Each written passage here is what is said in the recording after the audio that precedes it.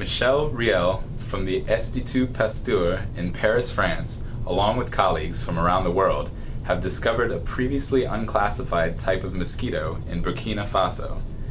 It is genetically distinct from known subgroups, highly susceptible to malaria parasites, and it could have implications for the transmission and control of the disease.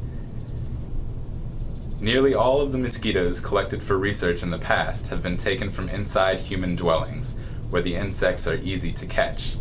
Researchers also believe that the vast majority of malaria transmission occurs indoors. However, this new subtype of mosquito was found outdoors in ponds surrounding villages. This discovery is important because in the past, some malaria control efforts have failed because genetically distinct outdoor types of mosquitoes, such as this one, have allowed malaria transmission to persist despite the widespread use of indoor insecticides. This video was created by the AAAS Office of Public Programs.